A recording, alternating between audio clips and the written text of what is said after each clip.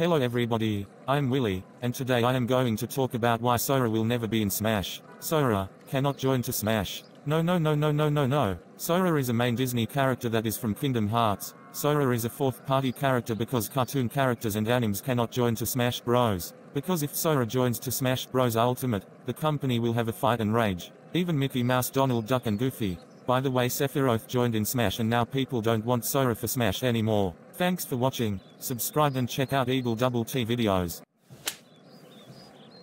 What the fuck Wooly who told you to say that when I am not making videos you jackass?